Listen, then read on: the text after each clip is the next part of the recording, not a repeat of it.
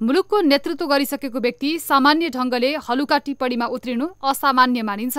राजनीतिक लाभका लागि जे पनि बोलिदिने गर्नाले जनतामा नेताप्रतिको धारणा फेरिने र नयाँ विकल्प खोज्ने आँट बढ्ने गर्दछ। पछिल्लो समय मुलुकको राजनीतिमा यस्ता प्रवृत्ति मौलाउन थालेको देखिन्छ। एमाले अध्यक्ष समेत रहेका पूर्व प्रधानमन्त्री केपी शर्मा ओलीले शिक्षा मन्त्री सुमना श्रेष्ठबारे गरेको टिप्पणीले राजनीतिमा नयाँ बहस सुरु भएको छ। विदेशी नागरिकसँग विवाह गरेकी सुमनालाई धेरैले विदेशी बुहारी भन्दै खिसी गर्ने गरेका छन्। यस्तोमा ओलीले सुमना लक्षित टिप्पणी गरेपछि अहिले विभिन्न कोडबाट बहस भइरहेको छ। ओलीले विदेशी बुहारी समानुपातिकबाट सांसद बनेर माइती आएको बेला मन्त्री नै बनेको भन्दै व्यङ्ग्य कसेका थिए। एउटी चेली कुन देशमा कता गएर पढिन् कता गएर बिहे गरिन् के भयो? अनि ती आफ्नो माइती देशमा एकपल्ट गइन् अरे। माइती देशमा गएको त्यहाँ त असन्तुष्टि अस्तव्यस्तता युवाहरूमा त्यत्तिकै कस्तो कस्तो के कसरी अगाडि बढ्ने भन्ने नभएको अन्यलको त्यस्तो स्थिति को उठ्छ भन्दा म उठ्छु भन्ने खालको सांसदमा को उठ्छ भन्दा म उठ्छु कसलाई समानुपाति चाहिएको छ मलाई भन्दाखेरि सांसद भइन अरे मन्त्री भइन अरे भनेर। ओलीले यस्तो जिकिर गरेपछि सुमनाले सामाजिक सञ्जालबाटै विरोध जनाएकी छन्। सामाजिक सञ्जालमा सुमनाले लामो सन्देशसहित प्रतिस्पर्धी नहुन् भन्ने चाहना शीर्ष नेताहरूमा हुने रहेछ भन्दै आक्रोश पोखेकी छन् भने होमा हो भन्ने कार्यकर्ता बनुन् भन्ने अभिष्ट राख्दा रहेछन् भनेकी छन्।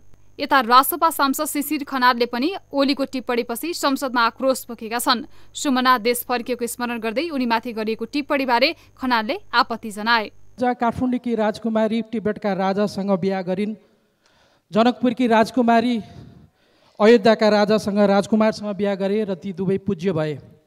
आज यस्तो जमाना आयो विदेशमा उच्च शिक्षा हासिल गरेकी एउटा महिला नेत्री देश फर्किन् दस वर्ष अगाडि। भूकम्पको बेला औषधि लिएर गाउँ पुगिन्।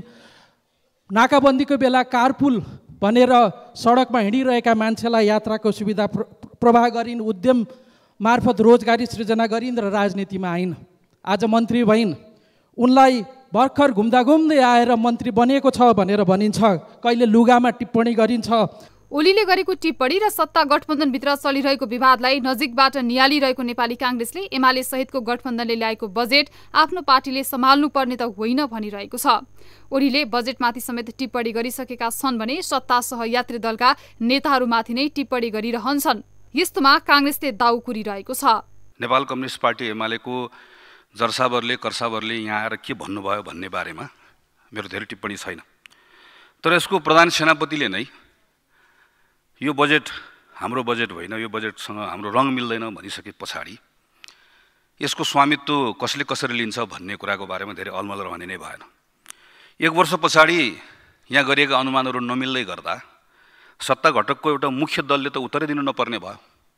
किनकि हामीले त प्रारम्भमै यो बजेट ठिक छैन भनेर भनेका थियौँ भन्ने स्थिति रहने भयो। राजनीतिक स्थिति बिग्रदो अवस्थामा पुगेकाले हुने यस्ता अनेक टिप्पणीले गर्दा सरकारको स्थिरतामाथिका प्रश्न पेचिला बनिरहेका छन्। जिम्मेवार दलको शीर्ष नेता नै गठबन्धनका नेताप्रति अनुदार ढङ्गले पेश हुनेदेखि काखी च्याप्ने मामलामा अत्यन्तै नजिक बन्ने परम्पराले नेताप्रति जनताको विश्वास थप गुम्दै गएको छ।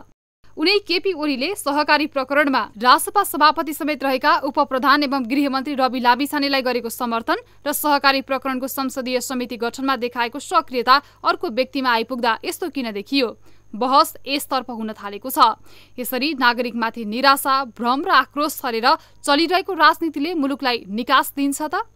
न्युज ट्वेन्टी फोर टेलिभिजनका लागि ब्युरो रिपोर्ट।